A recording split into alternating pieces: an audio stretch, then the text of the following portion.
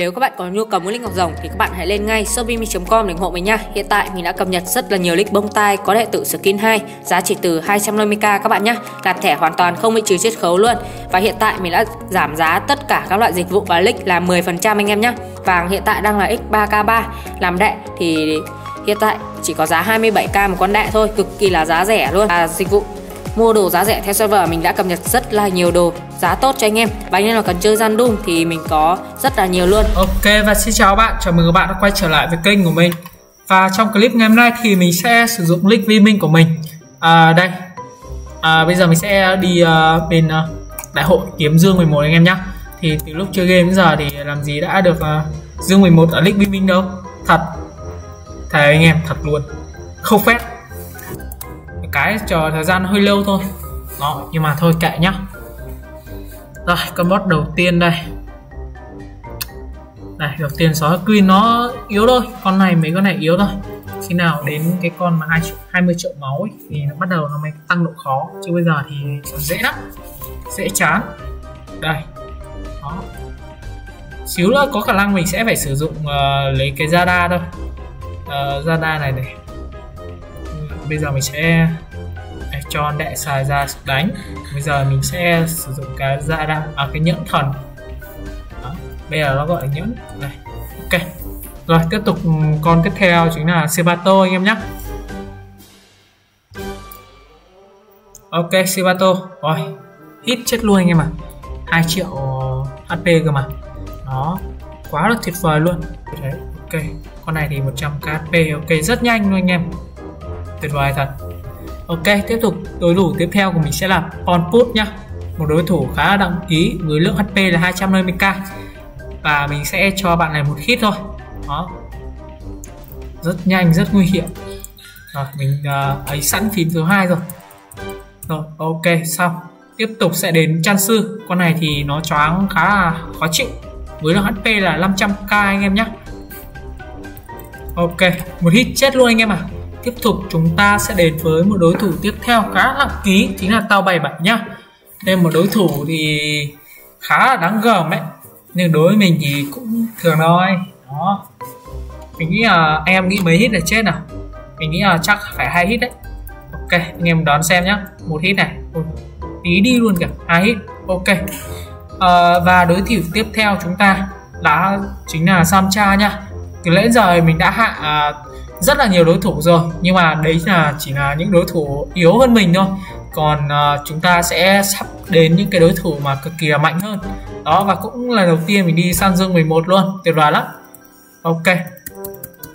Rồi đấm thì 390k một hit anh em ok.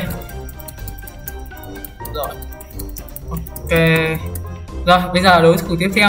Ok sức đánh của mình đang giảm đáng kể rồi. Bây giờ mình sẽ ăn cái cùng nộ vào ok. À, bây giờ mình sẽ ăn cái thức ăn vào nhá. Sushi đi. 297k ok. Các xuân kỳ bí bây giờ mình muốn là mở được cái ok cứ để cho cho não này đấm mình một tí mình ăn. À ok được rồi. Bây giờ sẽ bếm khỉ mình đập não này nhá. Em nhìn này. Rồi hai triệu tư hp một hit này. Đó đấm cực đã luôn. Đó ok bây giờ mình sẽ cho anh em xem là chói chói một phát nhá. Xong rồi ờ, xong bắn camera xem được bao nhiêu một hit nhá. Đó 6 triệu hai anh em à quá tuyệt vời luôn. Đó đấm thì như này thì nhanh thật sự. Ok đó chưa đầy 20 giây anh em nhá. Đấy là mình chỉ còn đấu nghịch thôi nhá không đơn giản đâu. Quá tuyệt vời. Và nó là cực kỳ là tuyệt vời và thuyết phục. Ok đối thủ này mình phải dùng, dùng giáp sen thôi. Rồi bị siêu thị rồi. Ok bây giờ mình sẽ đấm nhau cùng thanh niên này. Rồi. 15 triệu HP à?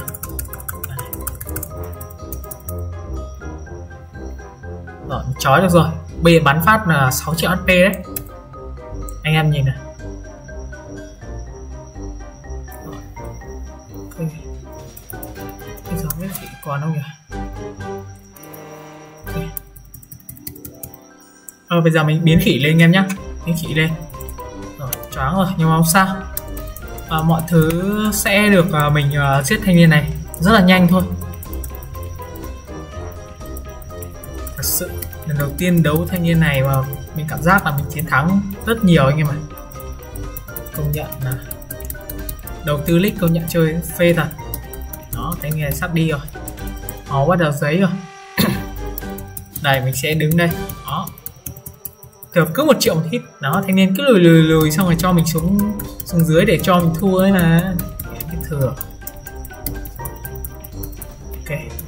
Mình ngu gì? Ok. Hết choáng này là chắc chắn mình sẽ giết thanh niên này đi luôn anh em ạ. Quá tuyệt vời. Choáng nhiều thực sự. Đây, mình cứ pem thanh niên này đi. Ok rồi ok. Rồi đối thủ tiếp cuối cùng của mình sẽ là lưu lưu anh em nhé lưu lưu. Lưu lưu và lưu lưu. Đó thì mình pem một triệu hit mà nhanh thực sự luôn. Bây giờ anh em sẽ nhìn thấy uh, sức mạnh của lick vì mình quá kinh khủng quá tuyệt vời. Mình chỉ có một từ ngữ chính là tuyệt vời thôi. Đó. Đam đã anh em à quá phê. Đó nó anh em cố gắng chơi xây ra sức đánh này phê lắm. Đam thừa sức luôn chẳng qua là vừa lẽ mình hơi bị lỗi chứ thôi. Đó. Đó spam liên tục luôn. Wow tuyệt vời thực sự. Đó cuối cùng thì mình có khả năng là mình sẽ được dương 11 để mình xài rồi.